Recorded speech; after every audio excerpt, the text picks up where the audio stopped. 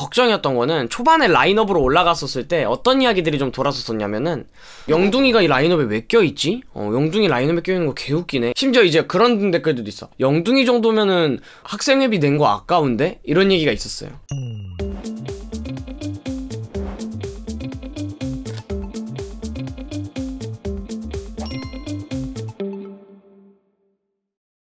다들 잘 지내는가? 오늘 촬영하고 와가지고 조금 꾸민 상태입니다. 얘들아 이거 니트 예쁘지 않냐? 이거 완전 내 옷임! 이거 빈티지샵에서 샀는데 완전 내 옷 같아. 이 정도면은 빈티지샵에서 내 옷을 잠깐 가져간 게 아닐까? 어, 원래 내 옷이었는데. 아 맞아요. 여러분들 제가 어제 축제 갔다 왔거든요. 동아방송예술대학교 축제 공연 잘 갔다 왔습니다. 네. 아니 근데 얘들아 축제 사람이 진짜 많았어. 나 지금까지 했던 공연 중에 사람이 제일 많았어 굉장히 감격스러웠습니다.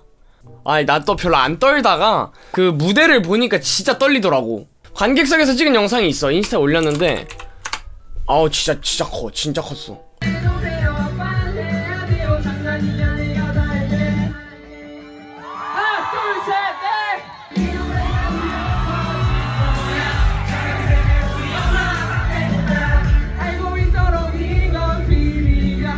이거 봐봐. 여기 여기 사람 다 보여. 요거 요거 요거 사람?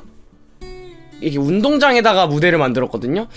내 생각에 한 300명에서 많으면 한 5, 600명까지 있었던 것 같아. 많으면. 그리고 이제 요뿐만 아니라 저 뒤쪽에 주점들이랑 주점은 아니고 그 부스들이랑 이런 데에서 이제 사람들 앉아서 밥 먹고 하시는 분들도 있었거든요. 거기만 해도 한 100명 있거든. 그래서 어제 실시간으로 보셨던 분들이 진짜 한 500명? 많으면 500명 정도까지 있었는데 아 기분이 너무 좋았습니다. 난 사실 이제 연예인 공연보다 내가 좀 더 앞쪽에 오, 그 오프닝 공연으로 해가지고 이제 춤추시는 분들 우리 학교에 이제 댄스 동아리나 이런 분들 어, 공연하시고 나도 오프닝 공연으로 같이 참여한 거였거든. 그래서 초반에 사람이 엄청 많지는 않지 않을까 생각했는데 생각보다 엄청 많았어요. 그래서 기분이 되게 좋았고 어, 무엇보다 일단은 나는 약간 걱정했거든. 또 예술대학교다 보니까 음악 잘하시는 분들도 많고 능력적으로 되게 어, 뛰어나신 분들이 많잖아. 혹시라도 나를 나라는 사람을 봤을 때 그렇게 높게 보지 않지 않을까? 이런 걱정들을 많이 하고 있었는데 어, 막상 가니까 진짜 너무 잘해주시고 어, 내가 무대 위에서 하는 얘기들도 너무 잘 들어주시고 어, 음악도 좋다고 많이 해주시고 호응이 너무 좋았어요 내 노래를 모르더라도 그냥 소리를 질러주고 와! 제가 또 노래 중간중간에 멘트들을 많이 준비하고 멘트들을 많이 했거든요. 내가 슬펐던 얘기하면은 어... 다같이 막 슬퍼해주고 좋은 얘기하면 와 대박이다 잘됐다 하면서 막 박수 쳐주고. 진짜 우리 학교 사람들 진짜 좋은 사람들이구나. 한 번 더 느꼈습니다. 축제 묘미 어 그니까 나는 진짜 뭔가 반겨주는 느낌이었어.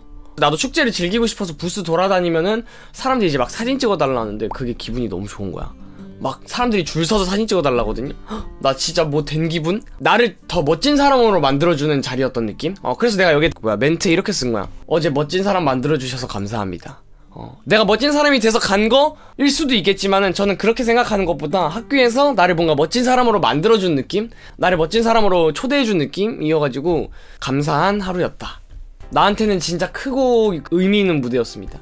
아 어제 진짜 저도 최고의 하루였습니다. 오랜만에 진짜 친한 대학교 친구들이랑 술도 먹고 공연도 하고 심지어 공연에서 그렇게 막 실수 같은 것도 없었고 내가 생각한 것보다 멘트가 잘 나왔어. 나 그래도 긴장 좀 덜 했구나. 많은 관객분들이 호응을 많이 해주셔가지고 긴장도 확실히 덜 됐어.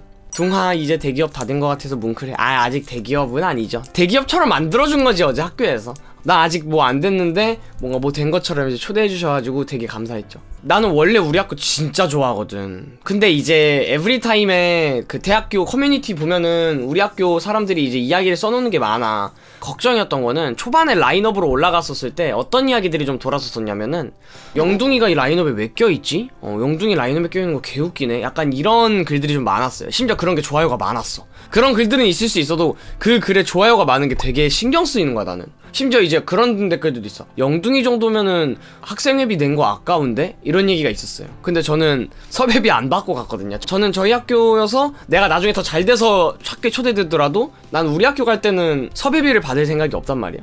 근데 사람들이 그렇게 얘기를 하니까 어, 심지어 내가 돈을 받고 가서 욕먹었으면 몰라. 근데 돈을 안 받고 갔는데도 아 영둥이 정도면 학생회비 낸 거 아까운데? 이러니까 내가 되게 마음이 아픈 거야.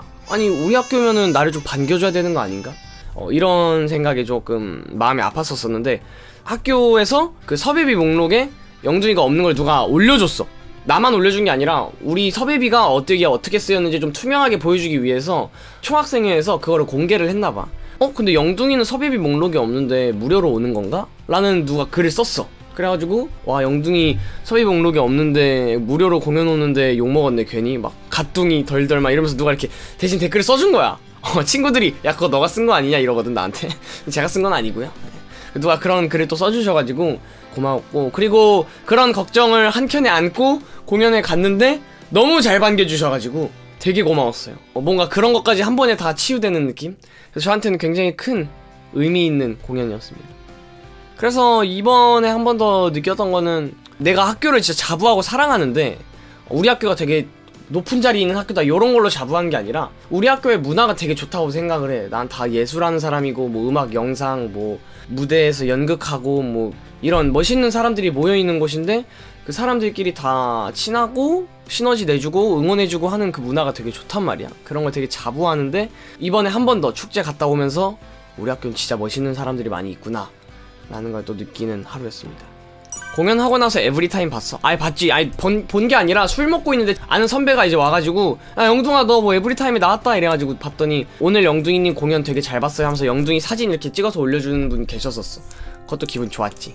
사실 글 여러 개 좀 더 써줬으면 기분 더 좋았겠지만은 그래도 한 개라도 써줘서 기분 좋았습니다. 오늘도 이제 축제 했거든요. 어제 축제 끝나고 오늘도 축제 하루 더 있었어. 그래서 오늘 레원, 지코, 선우정아님 이렇게 해가지고 세 분이서 아마 또 공연하고 있는 걸로 알고 있어요. 아, 그런 무대들도 있고 하니까 좀 더 나중에 글이 올라올 수 있지 않을까